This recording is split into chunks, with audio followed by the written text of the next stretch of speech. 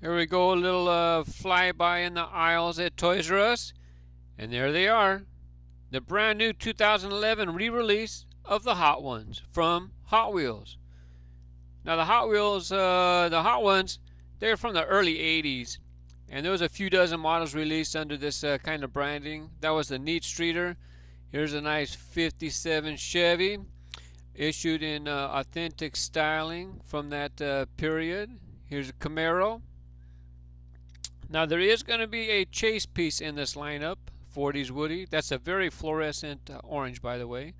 There will be chase pieces. You're going to look for red lettering on the tires, okay? Red lettering on the tires will be the chase pieces. I have no idea how limited they are or if they'll truly be chase pieces. I don't know. This uh, 70s van's nice, kind of pinkish color.